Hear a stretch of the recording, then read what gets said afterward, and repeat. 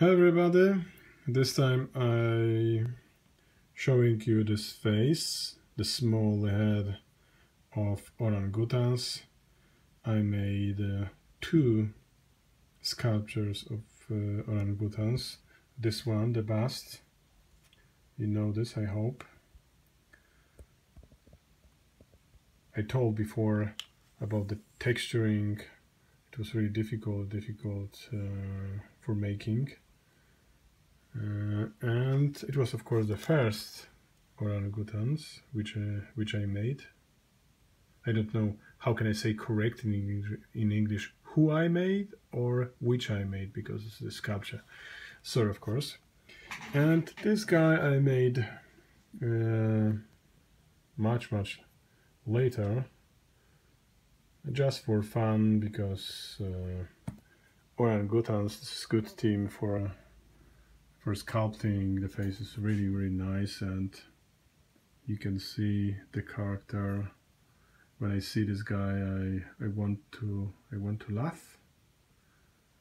Uh, oh just fun fun sculpture. Of course this is different character not like the chimpanzee the adult chimpanzee when you can see you know the skin texture the strong face with strong character. This small boy and girl of, of uh, orangutans.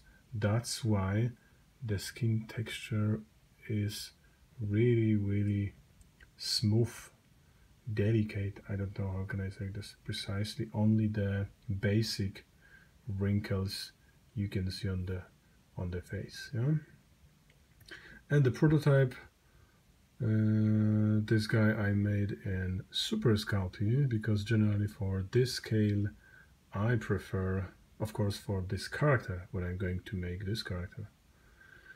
With so big detail I prefer Super Sculpey for sculpting. Look this and this